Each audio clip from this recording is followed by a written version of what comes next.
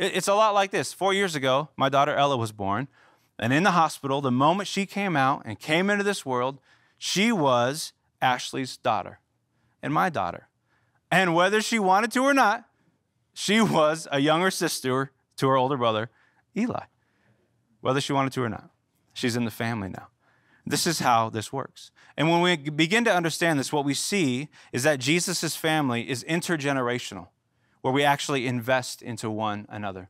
You see, there's a lot of talk today about churches could only survive if they're multi generational, and that's not necessarily the case. To be multi generational is just to have different generations of people hanging out. But an intergenerational church is a church in which we actually see that we have value to offer from one generation to the next generation. Again, you are not just someone who has a gift to offer, you yourself are the gift to invest and to open yourself into as you give yourself to the local church. This is a kind of a cross pollination that happens in church life. Notice Paul's instructions to Timothy again. This is from chapter 5.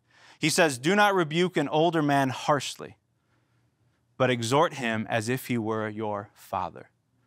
You see, what is happening in our culture today is we are losing the ability to maintain a hard conversation in which we say what is true and hold on to honor. It's very hard for us to do this.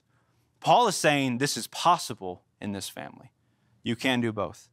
He goes on, treat younger men as brothers, older women as mothers, and younger women as sisters with absolute purity. Notice for Paul, as he's writing to Timothy, he assumes that these generations will, in fact, interact with each other. And they have something to invest in, they have something to offer each other. And so let me just say something to the, the older generations here who are watching and a part of our church. Let, let's not just label the younger generation into categories of things that we disapprove of, but let's call them for who they actually are our brothers and our sisters. They are your cousins, they're your nephews and nieces in the faith, nothing else.